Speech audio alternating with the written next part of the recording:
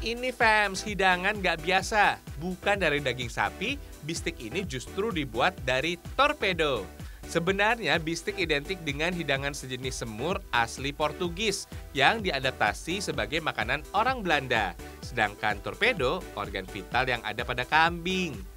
Kalau dimasak dengan baik, hidangan ini bisa memberikan rasa yang nikmat aduhai. Beberapa orang mengincar torpedo karena dipercaya bisa meningkatkan stamina setelah dikonsumsi tuh fams. Sekarang kita bikin bumbu baceman dulu. Bumbu inilah yang membuat hidangan menjadi lebih lembut dengan rasa yang gurih dan manis. Kecap menjadi komponen penting dalam pembuatan bistik fams. Jangan heran kalau bistik memiliki cita rasa lokal.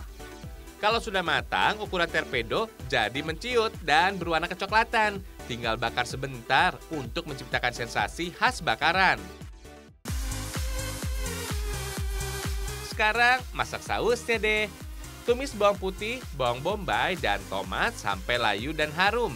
Tambahkan deh kaldu dan air perasan jeruk nipis. Setelah mendidih, masukkan kentang dan torpedo buah bacem. Tambahkan deh kecap untuk menambahkan ciri khas bistik. Bistik torpedo disajikan dengan hot plate alias piring panas supaya hidangan ini tetap hangat saat disajikan. Bagi sebagian orang, menyantap torpedo emang agak asing, tapi sekali coba bisa bikin nagih tuh. Teksturnya lembut dan kenyal, fams. Khasiatnya bisa meningkatkan vitalitas pria.